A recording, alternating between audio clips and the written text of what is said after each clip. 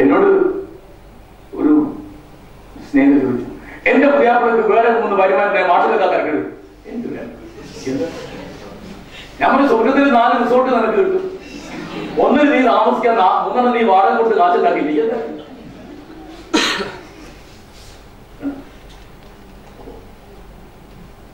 ഏത് കേരളം? വായന എവിടെയാണ് തുടങ്ങുന്നത്? എന്ന് എന്നോട് ചോദിച്ചാൽ ഞാൻ പറയും അത് ഇന്ദുലേഖയിലാണ്. മറ്റു ധാരാളം വായനയുണ്ട്. അച്ഛൻ നമ്മൾ ആയിരത്തി എണ്ണൂറ്റി എൺപത്തി ഒമ്പതിൽ ഇന്ദുലേഖ. ചെറിയ കാര്യം ജവഹർലാൽ നെഹ്റു ആ കൊല്ലാ ജനിച്ചത്.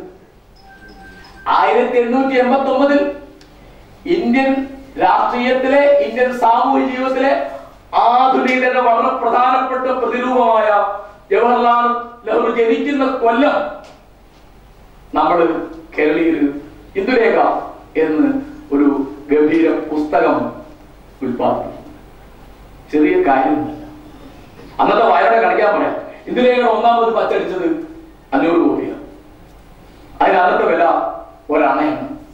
ഒരണയ്ക്ക് അന്ന് മലബാറിൽ ഒരു ചാക്ക അരി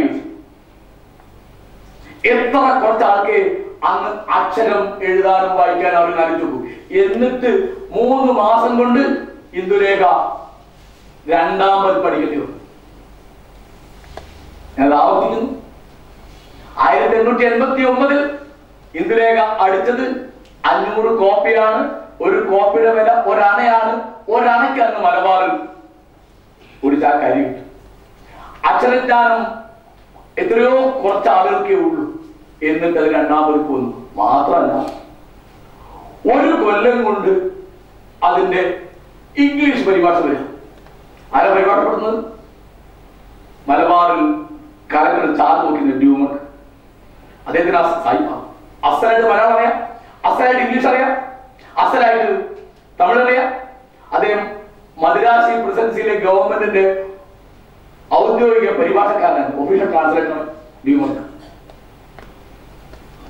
ആയിരത്തി എണ്ണൂറ്റി തൊണ്ണൂറിൽ ഇന്ദുലേഖയുടെ ഇംഗ്ലീഷ് പരിഭാഷ.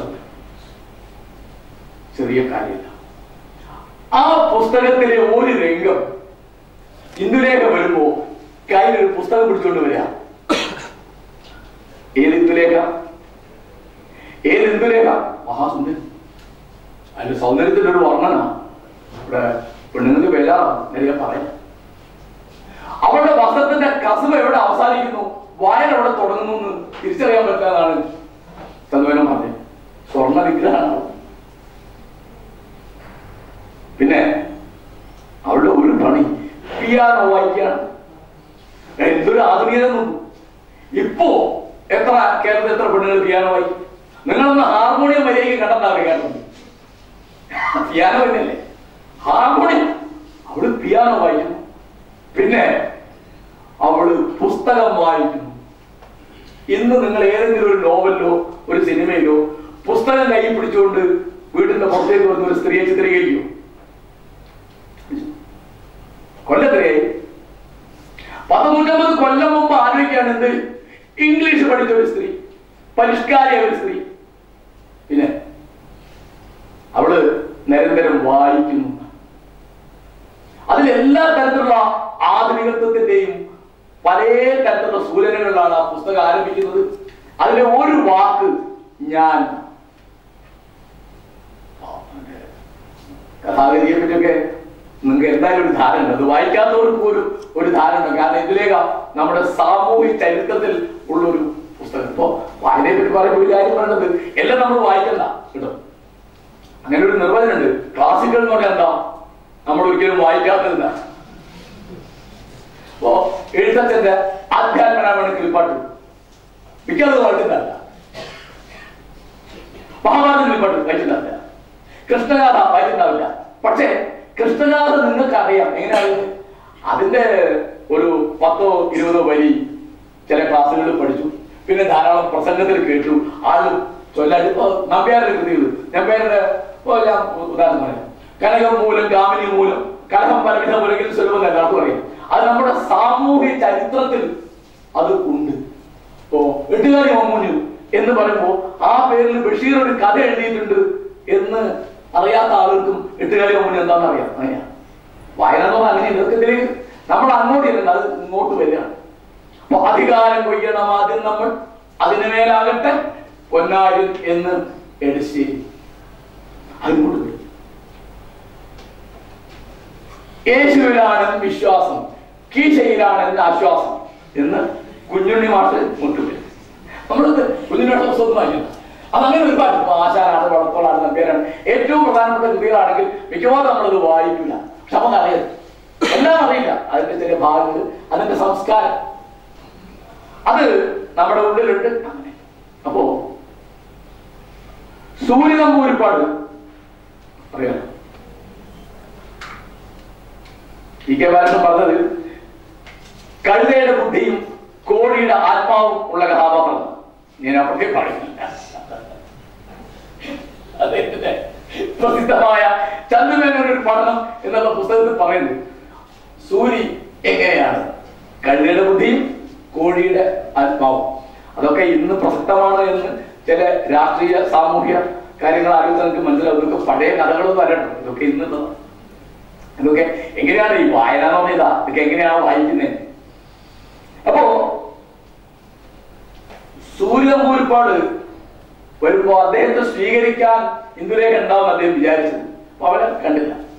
പിന്നെ ആദ്യമായിട്ട് കാണുമ്പോ സൂര്യനമ്പൂരിപ്പാട് ഇരിക്കണം ഞാൻ വരുമ്പോൾ താഴത്തുണ്ടായിരുന്നു അല്ലേ? എന്ന് ചോദിച്ചു. ഇന്ദുലേഖ പറഞ്ഞു ഞാൻ അപ്പോൾ താഴത്തില്ല. ഞാൻ എന്ന വാക്ക് കേട്ട് സൂര്യമുരിപ്പാട് ഞെട്ടി എന്ന് ചന്ദ്രമേനോൻ കൃത്യമായി രേഖപ്പെടുത്തിയിട്ടുണ്ട്. ഞാൻ അവളുടെ വല്യമോൻ വല്യമേനോൻ അടിയൻ എന്ന് വാക്കൈ കുത്തി ആചാരം പറഞ്ഞിട്ടാണ് ഈ പെൺകുട്ടി ശൂദ്ര സ്ത്രീ കേട്ടോ നായര് ശൂദ്ര വിഭാഗമാണ് അങ്ങനെ അല്ല എന്ന് എൻ എസ് എസ് പറഞ്ഞുണ്ടാക്കിയതാ. ക്ഷത്രിയരാണ്. കാരണം എൻ എസ് എസ് കൊണ്ടുള്ള പ്രധാനപ്പെട്ട പ്രയോജനം ഉണ്ടായത് അങ്ങനെയാ? ഇവരൊക്കെ ക്ഷത്രിയരാണ് എന്ന് പറഞ്ഞുണ്ടാക്കിയതാണ് ക്ഷത്രിയർ കേരളത്തിലാകെ ഈ ഞങ്ങളുടെ കോഴിക്കോട് സാമൂഹ്യ കുടുംബത്തിലോ അല്ലെങ്കിൽ ഇവിടെ തൃപ്പൂണിത്തുറയിലോ അല്ലെങ്കിൽ ഏഹ്, തിരുവിതാംകൂറിലോ ഒക്കെ ചില വർമ്മമാരോ രാജാമാരൊക്കെ. അപ്പോ കുഞ്ചൻ നമ്പ്യാരുടെ കൃതികൾ വായിച്ചിട്ടാണ് ഓ ഇവർക്കൊക്കെ നായന്മാരുടെ നേരെ തായിലമെല്ലാം വഴി അപ്പൊ ആയില്ലല്ലോ വായിച്ചിട്ടില്ല ഒരു ശൂദ്ര സ്ത്രീ മഹാബ്രാഹ്മണനായ തന്നോട് തന്റെ മുഖത്ത് നോക്കി ഞാൻ എന്ന് പറഞ്ഞിരിക്കുന്നു. ഒരു സ്ത്രീ പുരുഷനോട് ഞാൻ എന്ന് പറഞ്ഞിരിക്കുന്നു. ഒരു കുടിയാൻ കുടുംബത്തിലെ സ്ത്രീ ഒരു ജന്മയോട് ഞാൻ എന്ന് പറഞ്ഞതാണ് നമ്മുടെ സംസ്കാരം വഴിതിരിഞ്ഞതിന്റെ പ്രധാനപ്പെട്ട ഒരു സൂചകമായിട്ടാണ് ആ ഞാൻ എന്ന വാക്കിനെ ഞാൻ വായിക്കുന്നത് ചെറിയ കാര്യം. ചെറിയ കാര്യം. അതുകൊണ്ട് പറഞ്ഞൊന്നും കാര്യം നമ്മുടെ സംസ്കാരത്തിന് വളരെ പ്രധാനപ്പെട്ട സൂചകമായിട്ട് വായന വരുന്നതിന്റെ പല അടയാളങ്ങൾ അവിടെ സംസാരിക്കുമ്പോ അതാ അതാ ഇംഗ്ലീഷ് പുറപ്പെട്ടു എന്ന് സൂര്യൻ ഒരുപാട് ഏ? പ്രതിരോധം പ്രതിഷേധം അതാണ്. ഇത് എനിക്ക് ഈ കാര്യത്തെ പറ്റി ഇന്ന അഭിപ്രായമുണ്ട്. ഞാൻ ഇന്നതിനെ പ്രതിഷേധിക്കുന്നു ഇന്നതിനെ പ്രതിരോധിക്കുന്നു എന്ന മട്ടിൽ എപ്പോ ഒരു മുഖഭാവം ഒരു ചേഷ്ട ഒരു ശരീരഭാഷ ഒരു വാക്ക് വരുമ്പോ അത് ഇംഗ്ലീഷ് പുറപ്പെട്ടു പിന്നെ ആ പുസ്തകം വരുമ്പോ ഇന്ത്യൻ നാഷണൽ കോൺഗ്രസിന് നാല് വയസ്സായിട്ട് ആയിരത്തി തൊണ്ണൂറ്റി എൺപത്തി അഞ്ചിലാണ് ഇന്ത്യൻ നാഷണൽ കോൺഗ്രസ്. ചന്ദ്രമേനോൻ ഇംഗ്ലീഷുകാരുടെ സർവീസിൽ പരപ്പനങ്ങാടിയിൽ മത്സരമായിരിക്കുമ്പോഴാണ് ഈ നോവൽ എഴുതിയത്. അദ്ദേഹം ഇംഗ്ലീഷുകാർക്ക് അനുകൂലമായിരുന്നു. കേട്ടോ? വില്യം ലോകനാണ്. തലശ്ശേരിയിൽ വെച്ച് കണ്ടപ്പോൾ അദ്ദേഹത്തെ കോഴിക്കോട്ടേക്ക് കൂട്ടിക്കൊണ്ടുവരുന്നു ഇവിടേക്കാണെന്ന് വിചാരിച്ചു പിന്നെയാണ് ഇവിടെ മുൻസിപ്പാവുന്നത്. നമ്മുടെ വിമോചനം ഇംഗ്ലീഷ് ഭാഷയിലാണ്. അതിന്റെ പഠനത്തിലും വായനയിലുമാണ് എന്ന് വിചാരിച്ച ഒരാളാണ് അതിന്റെ യോഗ്യതകൾ അതിന്റെ പരിമിതികൾ അതിന്റെ അയോഗ്യതകൾ നമ്മൾ തിരിച്ചറിയും അപ്പോ നമ്മുടെ പ്രധാനപ്പെട്ട നവോത്ഥാന നായകൻ നാരായണ ഗുരുവാണ്. ഏറ്റവും പ്രധാനമായിട്ട് അറിവാണ് വായനയാണ്. വായന കൊണ്ട് പ്രബുദ്ധനാവുക. വായന കൊണ്ടാ മലയാളി രക്ഷപ്പെട്ടത്? സ്കൂളിൽ പഠിച്ചു കോളേജിൽ പഠിച്ചു. ലൈബ്രറിയിൽ പോയിട്ട് പുസ്തകം വായിച്ചു. അങ്ങനെയാണ് നമ്മൾ കേരളത്തിന്റെ പുറത്തേക്ക് ഇന്ത്യയുടെ പുറത്തേക്ക് ഒക്കെ പോയിട്ട് ഇന്നിപ്പോ മറ്റെല്ലാ സംസ്ഥാനക്കാരെക്കാളും സമ്പത്തും സമൃദ്ധിയും സൗകര്യവും ഉള്ള ഭൗതിക സൗകര്യങ്ങളുള്ള കൂട്ടരായിട്ട് മാറി. പുസ്തകത്തെ പറ്റിയാണ് ബെർത്തോട് ബെർത്ത് പറഞ്ഞത്. വിശക്കുന്ന മനുഷ്യ പുസ്തകം കയ്യിലെടുക്കും. അതൊരു ആയുധമാണ്. ഞാൻ ആവർത്തിക്കുന്നു. വിശക്കുന്ന മനുഷ്യ പുസ്തകം കയ്യിലെടുക്കൂ. അതൊരു ആയുധമാണ്. ഇന്ന് നമ്മൾ നോക്കിയാൽ കാണാം. എല്ലാ സംസ്കാരത്തിന്റെ അടിയിൽ ഒരു പുസ്തകം കാണും. അത് അറേബ്യയിലും ഇസ്ലാമിക സംസ്കൃതിയുടെ അടിയിൽ ഖുർആൻ എന്നൊരു പുസ്തകമാണ്. ഖുർആൻ എന്ന വാക്കിന്റെ അർത്ഥം വായിക്കാനുള്ളത് എന്ന അറബി പറഞ്ഞ വായിച്ചു. ആ പുസ്തകം തുടങ്ങിയത് അങ്ങനെയാണ് അത് തുടങ്ങിയത് വായിക്കൂ എന്ന് പറഞ്ഞാണ്. ഇക്ര എന്നാ തുടങ്ങുന്നത്. എങ്ങനെ? നിന്റെ ദൈവത്തിന്റെ നാമത്തിൽ വായിക്കും. അടുത്ത വാക്യം എന്താണെന്നറിയോ മനുഷ്യന് അവൻ അറിഞ്ഞുകൂടാത്തതിനെ തൂലി കൊണ്ട് എഴുതാൻ പഠിപ്പിച്ച അത്യുദാരനാണ് നിന്റെ നാഥൻ എന്നാണ് അടുത്ത വാക്യം. തൂലി കൊണ്ട് എഴുതാൻ പഠിപ്പിച്ചത് കേരളത്തിൽ ഏറ്റവും വലിയ ഞാൻ വിലമതിക്കുന്ന ഏറ്റവും പ്രധാനപ്പെട്ട ആഘോഷം എന്താണ്? ചോദിക്കാൻ ഇവിടെ ഇപ്പോ ഓണത്തിന്റെ തലസ്ഥാനത്താണ് നിൽക്കുന്നു. എന്തായാലും അവിടെ തൃക്കാക്കരപ്പന്റെ അമ്പലം പോയി കേരളത്തിലെ ഏറ്റവും പ്രധാനപ്പെട്ട ആഘോഷം എന്റെ കണക്കിന് തുഞ്ചൻ പറമ്പിലെ എഴുത്താണി എഴുന്നള്ളിപ്പ്. ഇതുപോലൊരു ആഘോഷം നിങ്ങൾ ലോകത്ത് എവിടെ ചെന്ന് പറയാം? ഞങ്ങൾ മഹാരാജാക്കന്മാരെയും പ്രഭുക്കന്മാരെയും അല്ല എഴുന്നള്ളിക്കുന്നത് ഞങ്ങളുടെ ഭാഷയിലെ ഒരു എഴുത്തുകാരന്റെ എഴുത്തുപകരണം. എഴുത്താണ് എഴുന്നള്ളിപ്പ് ചെറിയ കാര്യം. ഇത് വലിയ നമ്മുടെ ഏറ്റവും പ്രധാനപ്പെട്ട ഉപകരണം ആയുധം. ഏതാണ് ആയുധം? അത് വളല്ലൻ സമരായുധം എന്ന് വയലാണ് അപ്പോ വാളല്ല നമ്മുടെ സമരായുധം. നമ്മുടെ സമരായുധം തൂലികയാണ് എന്ന് പ്രഖ്യാപിക്കുന്ന എത്ര നൂറ്റാണ്ടായി തുഞ്ചൻ പറമ്പിൽ അങ്ങനെ ഒരു ആഘോഷം.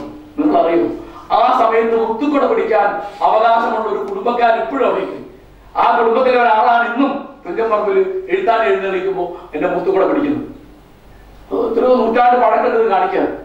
ഏറ്റവും നമുക്ക് അറിയുന്ന ഒരു കാര്യം പതിനാറാം നൂറ്റാണ്ടുകാരനാണ് എഴുത്തച്ഛൻ. അപ്പോ ഏതെങ്കിലും ഒരു വിമോചന ദൈവശാസ്ത്രം ഉണ്ടെങ്കിൽ അതിന്റെ പേര് വായന. വേറെ ഒരു സംസ്കാരത്തിന്റെ അടിയിൽ ഒരു പുസ്തകമുണ്ട്. അതിന്റെ പേര് ബൈബിൾ. ആ വാക്കിന്റെ അർത്ഥം പുസ്തകം നമ്മുടെ സംസ്കാരത്തിന്റെ ഇന്ത്യൻ സംസ്കാരത്തിന്റെ അടിയിൽ ഒരു പുസ്തകമുണ്ട്.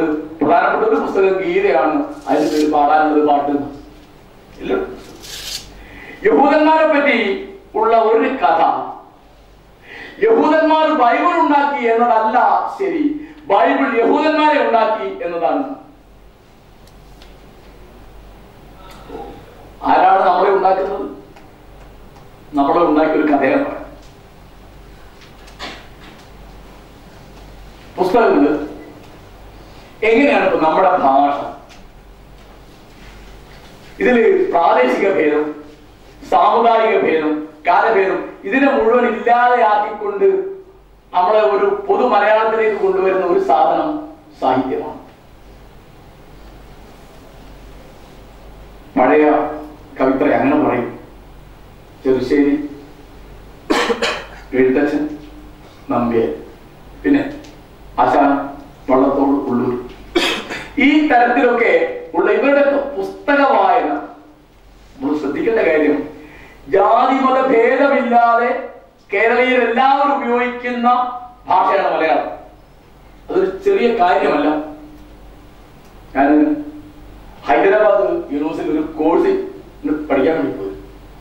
ഹൈദരാബാദ് രാവിലെ ഒരു കോഴ്സ് വഴിയിൽ ചെറുപ്പക്കാരനെ പറ്റി അയാളെ അക്ബർ അയാൾ അവിടെ യൂണിവേഴ്സിറ്റിയിൽ ഒരു കാവൽക്കാരന്റെ ജോലി ചെയ്യുന്നതാണ് ചെറുപ്പക്കാരൻ അപ്പൊ എന്തോ പറഞ്ഞപ്പോ അതിന്റെ തലേന്ന് തെലുങ്കിലെ ശ്രീശ്രീ എന്നുള്ള കവിയെപ്പറ്റി ഞാനും അവിടെ എന്റെ സുഹൃത്ത് തെലുങ്കാണ് ചന്ദ്രശേഖരൻ സംസാരിച്ചു അപ്പൊ ഞാൻ അത് ആലോചിച്ച് വരുമ്പോഴാണ് അക്ബറിനെ പരിചയപ്പെട്ടത് അപ്പൊ അക്ബറിനോട് ഞാൻ ശ്രീശ്രീയെ പറ്റി എന്തോ ചോദിച്ചു അപ്പൊ അയാൾ പറഞ്ഞു, "ശ്രീ- ശ്രീശ്രീ ചോദിച്ചു അവൻ അമ്പലം?